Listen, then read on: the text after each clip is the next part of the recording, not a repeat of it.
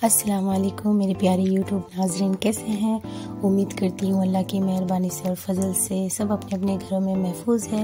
अल्हम्दुलिल्लाह, अल्लाह की मेहरबानी से हम भी बहुत अच्छे हैं।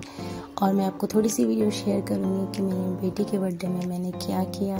ज़्यादा कुछ नहीं किया था, बस मैंने थोड़ी सी मीठे बना ली थी, यानी सेमियाँ बना लिया था। उसके बाद जो है मैं केक की तैयारी में लग गई थी। क्योंकि आमतौर पे बाज़ार से अगर हम ऐसे केक लाते हैं तो बहुत ही महँगा पड़ता है हमारे हिसाब से। तो मैंने सोचा क्यों ना थोड़े पैसे खर्चे में घर में ही अच्छे से केक बना लेते हैं। तो मैंने मेरी बेटी के लिए दो केक तैयार की थी। तो माशाल्लाह से मुझे भी बहुत अच्छी लगी थी। उम्मीद करती हूँ आप सबको अच्छा लगेगा। ये देखिए नाजरीन मैंने ये दो केक बनाई थी, एक पिंक कलर की और एक ब्लू कलर की है। एक चॉकलेट फ्लेवर था, एक वैनिला फ्लेवर था।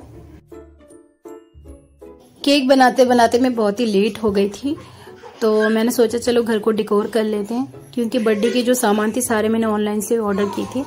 ऑनलाइन में बहुत कम मिल रही थी तो मैंने ऑर्डर कर दिया था और अल्हम्दुलिल्लाह, माशाल्लाह से बहुत अच्छा मिल गया था, क्योंकि ज़्यादातर ऑनलाइन में ऐसा होता है कि सेम सामान जो है हमें नहीं मिलती है, लेकिन मुझे एकदम सेम सामान मिला और, बर्थडे की जो सारे आइटम थे बहुत अच्छे से आ गए थे।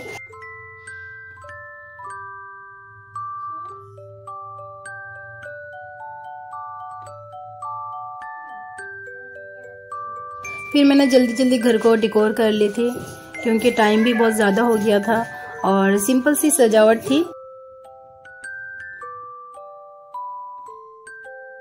तो मेरी काम भी ख़त्म हो गई थी, फिर मैं सोच रही थी, चलो बच्चे को तैयार कर लेती हूँ।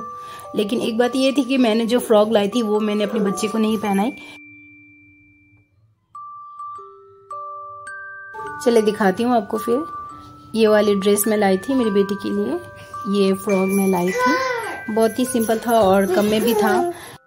अचानक बर्थडे वाले दिन ही मेरी बेटी की बेस्ट फ्रेंड आ गई और मेरी बेटी के लिए बहुत सी खूबसूरत सी ये तोहफे लाई थी। ये ब्लू कलर की फ्रॉक जो मेरी बेटी को बहुत पसंद आई थी और माशाल्लाह से मुझे भी बहुत अच्छा लगा था। मेरी बेटी ने जब पहना, माशाल्लाह उसको बहुत ही प्यारी लग रही थी। ये है मेरी बेटी की बेस्ट फ्रेंड तो नाजरीन, हम अपनी वीडियो आज यही ख़त्म करेंगे। इनशाला मिलेंगे पार्ट टू में। तब तक के लिए हमें इजाज़त दीजिए और अपना ख्याल रखें, अपने बच्चों के ख्याल रखें, खुश रहे, आबाद रहें, जो जहाँ पर है। नाजरीन, अगर हमारी वीडियो आपको पसंद आती है तो कमेंट बॉक्स में ज़रूर कमेंट करके बताएँ। वीडियो को लाइक करें, सब्सक्राइब करें। दुआ में ज़रूर याद रखें। अल्लाह हाफिज़।